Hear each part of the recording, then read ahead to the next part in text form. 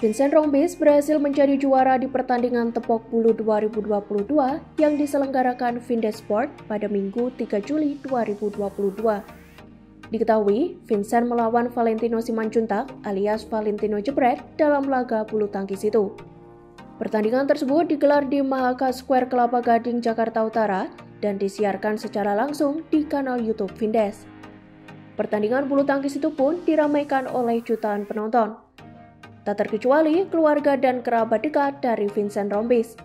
Dalam pertandingan itu, terlihat istri Vincent Rombis, Irvita Karina Karamoy, bersama anak-anaknya turut hadir memberikan dukungan. Bahkan sang ibunda, Haryati, juga hadir untuk memberikan dukungan kepada Vincent.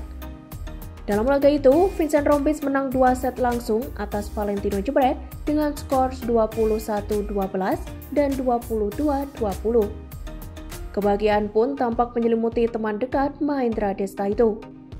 Berbagai momen haru pun terekam selesai Vincent dinyatakan menang. Salah satunya momen keharmonisannya dengan keluarga yang menjadi sorotan warganet. Saat dinyatakan sebagai pemenang tepok bulu 2022, Vincent tampak memeluk dan mencium istrinya. Pria 42 tahun ini juga sempat menunjukkan tos ciri khas dirinya dan sang anak di depan seluruh penonton. Pada kesempatan yang sama, Vincent juga berterima kasih pada keluarganya yang hadir langsung untuk menyaksikan dirinya bertanding bulu tangkis.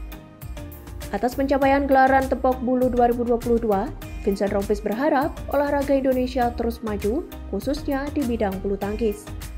Dengan kemenangan yang diraihnya, Vincent membawa pulang hadiah sebesar 20 juta rupiah, sementara Valentino 5 juta rupiah.